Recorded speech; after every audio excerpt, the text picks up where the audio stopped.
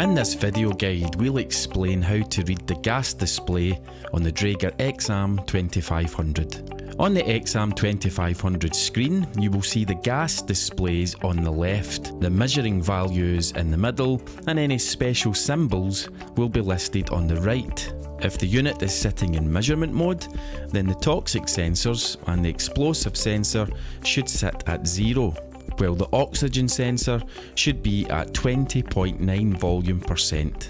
Always refer to the X-am 2500 user manual before use and visit our YouTube channel to see more videos on the Draeger X-am 2500.